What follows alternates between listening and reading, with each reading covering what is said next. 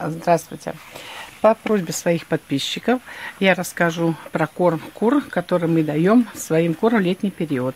Это вот их вот загон, где они летом э, как бы гуляют. Мы сейчас зайдем сюда к ним. Вот они, курочки наши. Мы их купили, как я говорила, 22 апреля.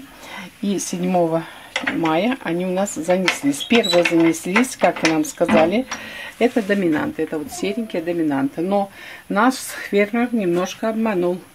Вместо курочки вот дал нам петушка. Вот он. Один и второй. Два петушка. Ну, ничего, мы подкупили потом еще доминантов, потому что они первые занеслись, потом легарны занесли, потом хайсеки. И последние это у нас занеслись хохлатки наши. Они купаются, там у них вот зала стоит в этом коробе. Они в зале купаются и в песке купаются. Э, сидят на насесте иногда, там под низом любят вниз садиться. Трава это каждый день обязательно. Свежую траву мы даем. Мешанки делаем. Э, какой у нас корм. Это, это у нас вот кукуруза дробленая. Значит, это идет у нас э, ракушка такая вместе там с каким-то еще, даже не знаю, супруг, что там, э, мел обязательно. Это отруби. Это тоже идет сечка, идет и там с пополам тоже с кукурузой. И идет пшеница вместе даже, даже и с ячменем. Очень любят они у нас вот такую еду. Мы насыпаем вот здесь вот э, земли, наливаем водички, и она у нас прорастает. Они вот э, щипят с удовольствием.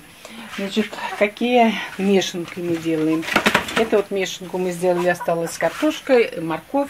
И мы делаем такую вот мешанку, и они едят, и неплохо даже едят.